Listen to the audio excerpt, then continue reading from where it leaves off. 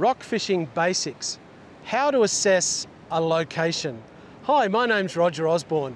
I'm super pumped because I'm fishing again, and in today's video, I've come down to a headland and I'm going to see what awesome fish that I catch, and I'll be teaching you what you look for when you come down to a particular location. How do you decide where you're going to fish and what options do you have?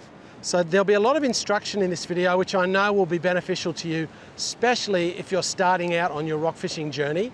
Make sure that you like and subscribe. Hit the notification bell so that you know when new videos are coming up. It really helps my channel and I appreciate it. Let's start fishing.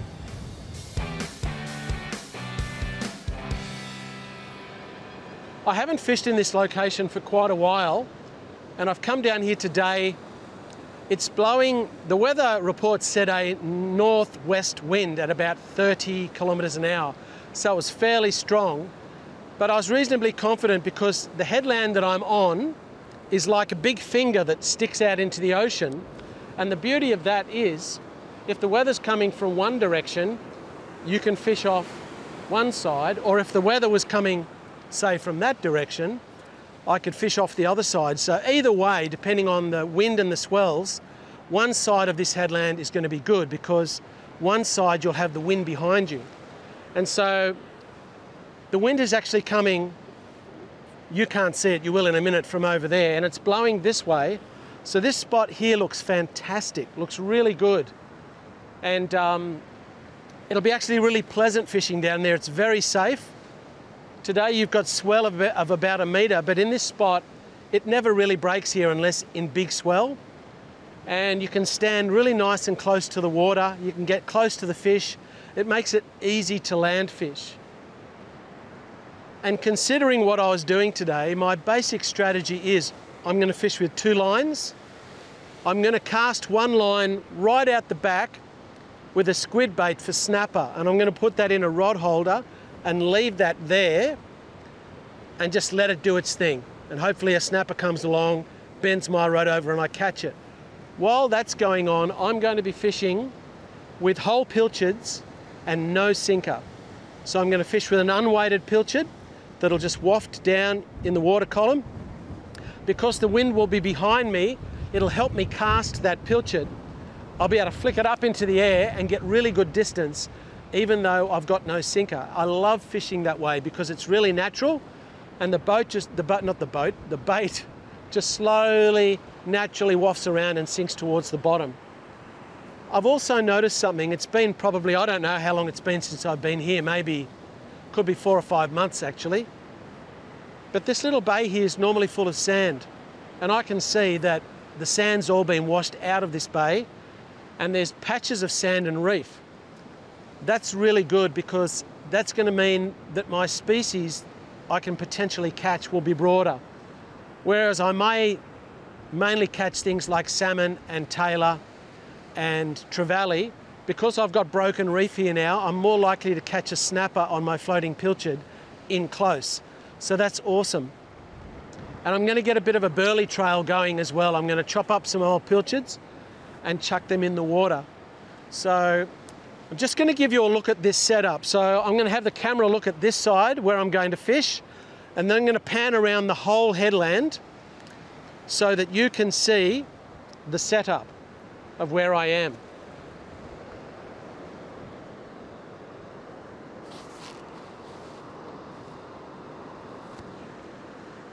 As I mentioned, this headland goes like a finger out into the ocean. It's awesome. So beautiful. And you can fish this side or you can fish the other side. What a cracking spot. But you know, there are a lot of places like this up and down the coast which give you the options of fishing each side. And the wind is blowing that way. So if we pan around slowly, we'll be able to see on, this is, where I'm pointing to now is north. So that's north and that's south.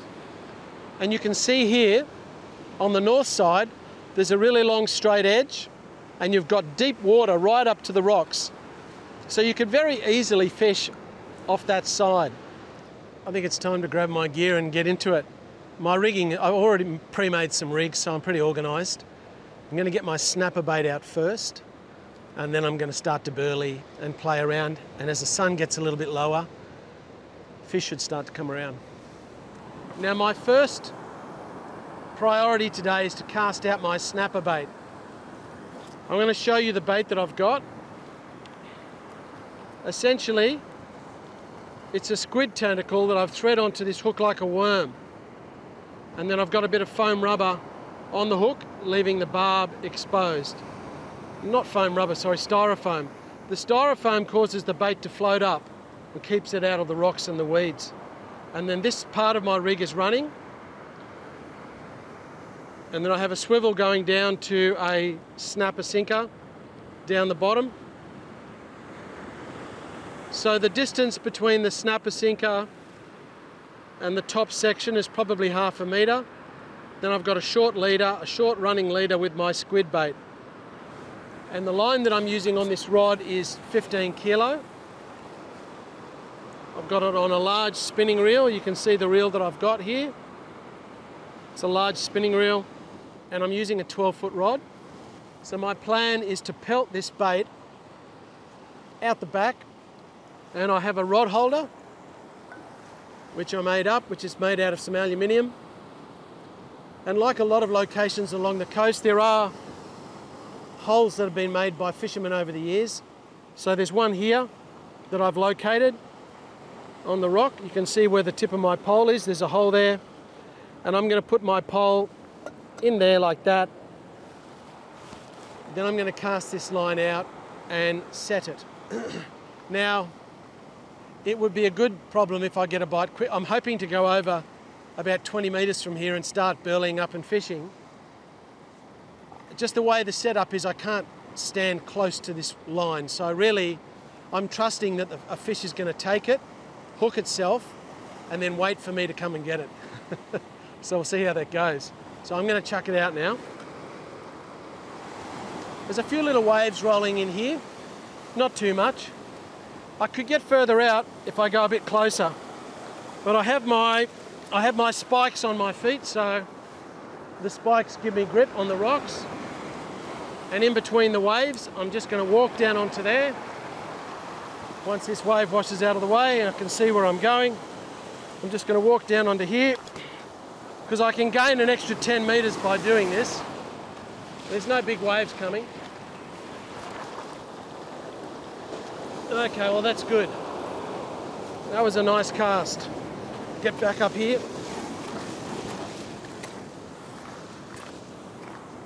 That's not dangerous at all there. It's pretty calm.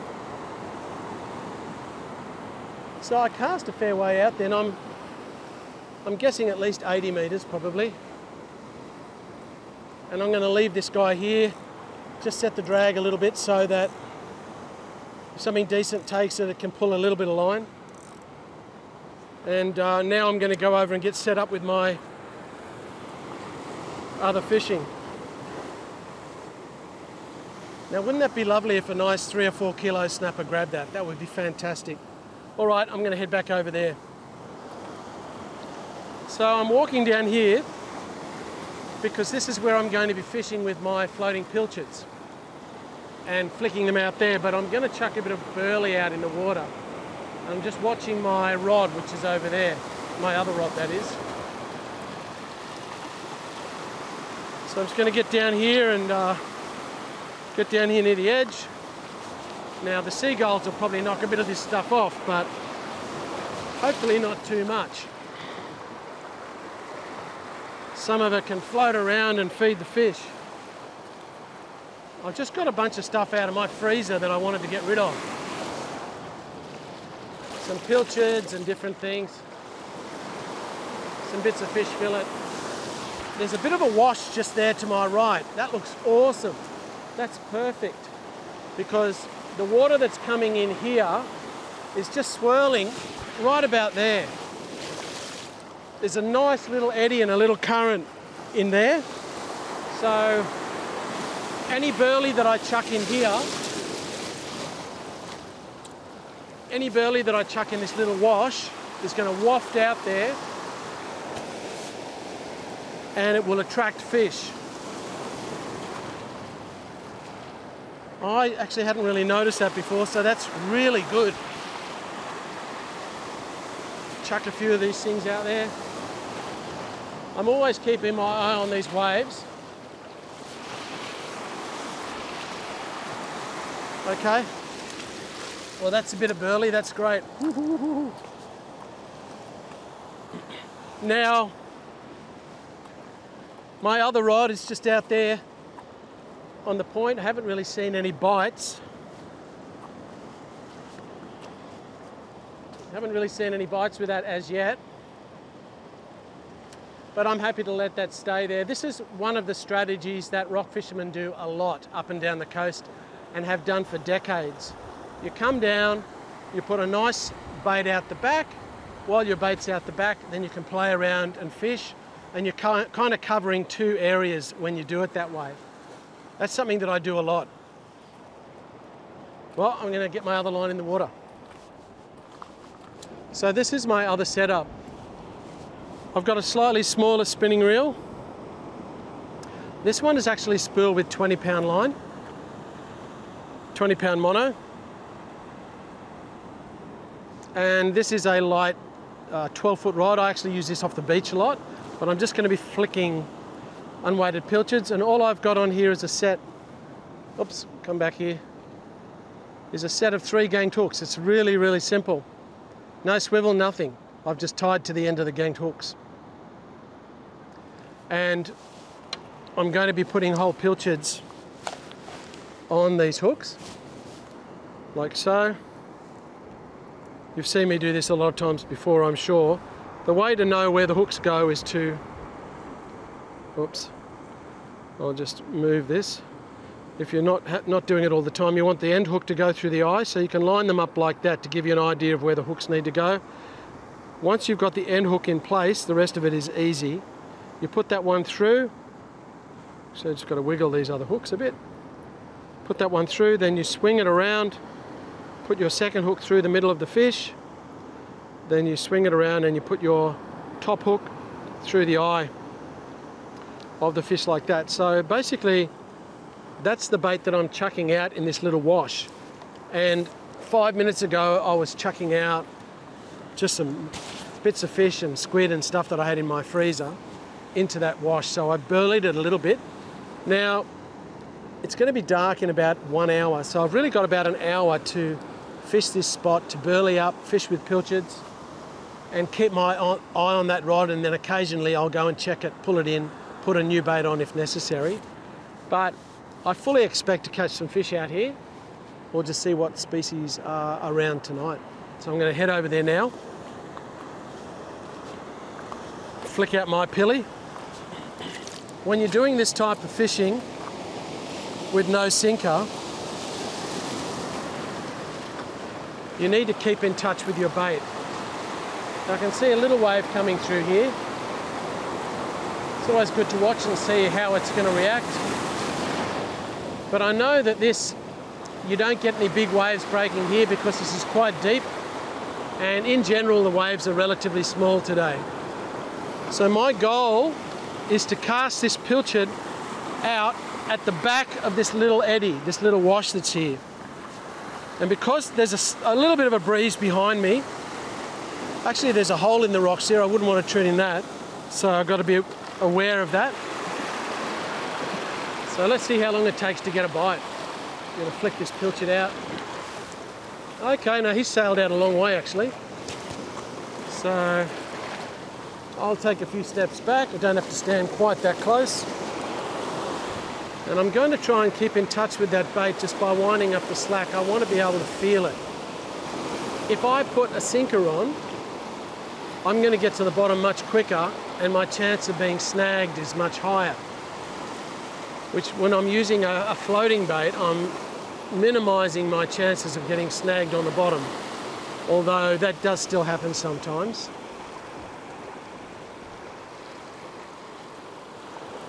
It's a great time of the afternoon to be fishing. Okay, I just had a bit of a nibble then. Getting another nibble, but I'm not quite sure it's it's coming towards me. I'm actually going to just strike. it felt small. All right, so I'm going to wind my line in.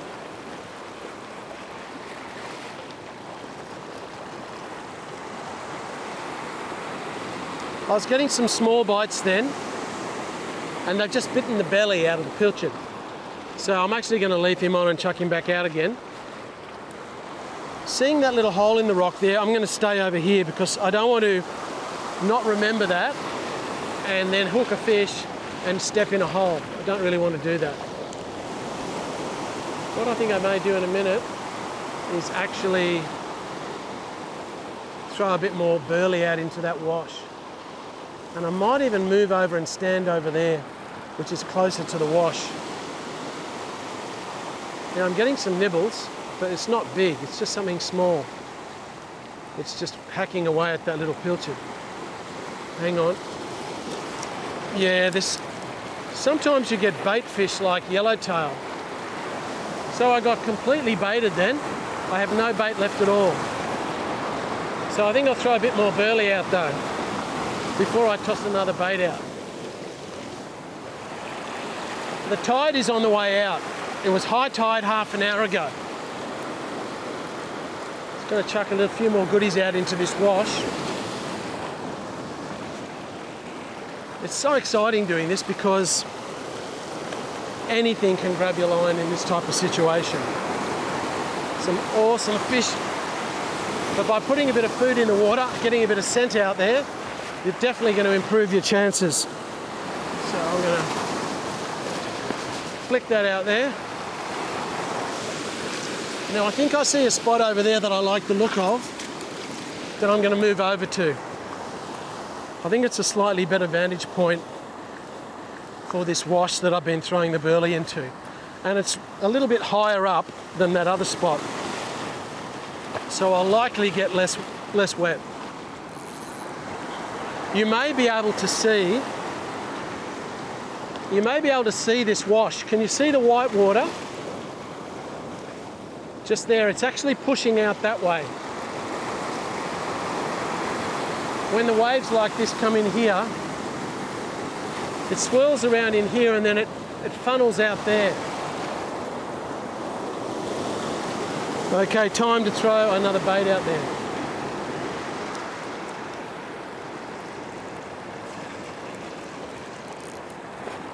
I've got something small.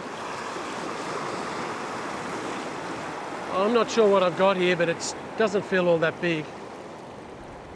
Oh, look at that. Oh, wow.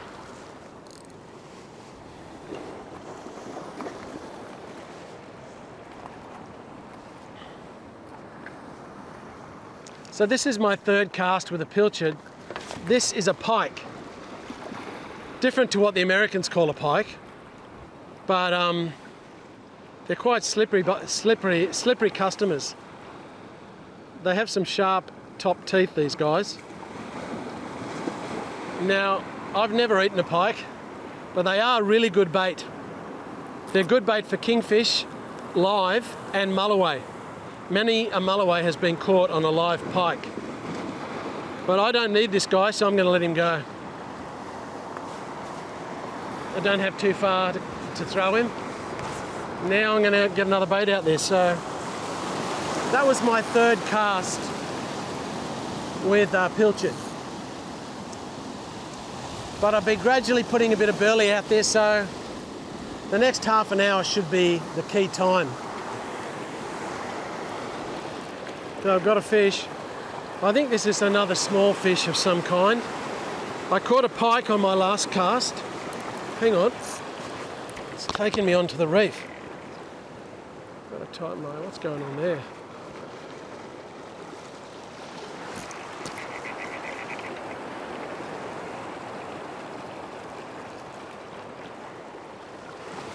That fish has reefed me. I had a fish on. I was perhaps um, a little bit gentle with it, so I'm just going to tie on another ganged hook because I'm sure I'll lose that. Yeah, that surprised me a little bit. So I won't let that happen again.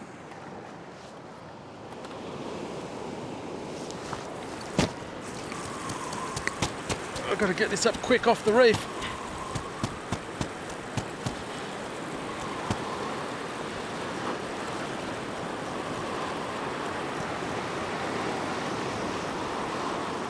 Which I have done successfully. So you don't want to have your bait coming along low down where it can hook onto the rocks. Now I'm right near the edge now, but there's a wave there. That'll provide a buffer for me to get my bait up.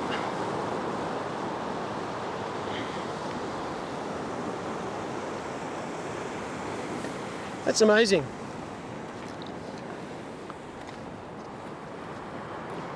My bait's basically untouched. Still got everything on and I'm going to chuck a little bit of extra squid on the end just as a tantalizer. Just going to put that there as like a little squid tail on there. Yeah, so nothing took that. It's been sitting out there for about half an hour, but it's got to be in it to win it, so I'm going to chuck it back out again and see how we go. The waves seem to be diminishing with the tide. As always, waves come in sets. So there's little breaks in between the, um, the actual sets of waves.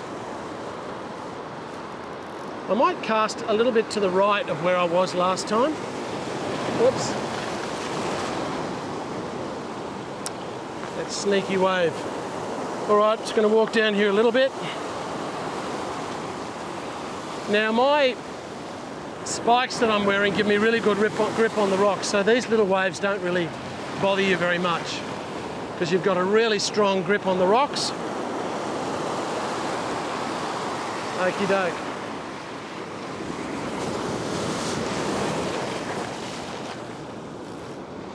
Alrighty. Now I'm always looking where I'm treading.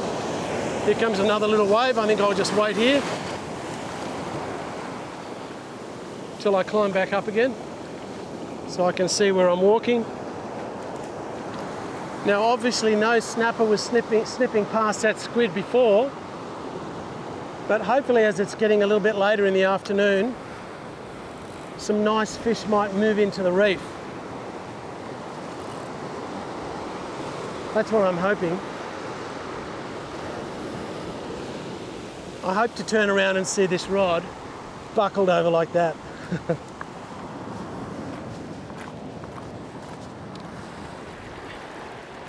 got a fish. It's probably something small. It's silver in colour. Okay. This is Trevor the Trevor the sorry, Trevor the Trevally. it's just a small Trevally. You see him there, lovely little fish. They love pilchards. Trevally come in all sizes, big ones, little ones. I don't mind eating trevally, but um, I'll let this little guy go and um, see if he's got any big brothers. It's really important to keep a steady little stream of burley going out because you want to attract some quality fish to your location. I've had bites every cast, little bites, trevally, different things. But you certainly know it when something like a snapper bites your line. They're very aggressive and they just whack it really hard. Super exciting. So that's what I'm hoping for. Is I know there's some small fish out there, but with that burley stream, I'm hoping to attract some better fish. It's a lovely sunset, actually. It's amazing. I've done a lot of this type of fishing at night. In fact, one night I did this all night. I've done it all night actually, a couple of times. Especially in summer with a full moon, when you've got good vision and the seas are calm, it's really good. Okay, so my set line has been fairly quiet out there and I'm uh, just working this little wash just gonna chuck my bait out again, I think. I'm pretty sure it's all intact. Yep, still intact, so I'll whack it back out. Just getting out into a nice area out there. It's not all that deep. I'm guessing it's maybe about five metres. But it's all broken reef and sand just here. It's a combination of reef and sand. I'm doing this in the afternoon, but it would ju be just as good early in the morning. If you got down here before sunrise and got a burley trail going, you can catch a lot of good fish that way. Hang on, just had a nibble. Yeah, there's something small having a go at it. I'm just going to strike to see if I can set the hook on whatever it was, but no. Still got some bait on by the feel of it. Just going to lift this up with this little surge. Look at that. It's taken the guts out of my pilchard. When small fish are biting, that's what they often do. They just bite the guts out of it. So it's just a small fish doing that. Yellowtail or sweep or something. So I'll sacrifice the rest of this pilchard for a bit of burley. Flick it out in that wash. Okay, so I've got a fish. All right, so it's a bit of a, a bigger fish, this one. which as soon as my bait hit the water, obviously the burley is working. Got him in pretty close here. All right. Oh.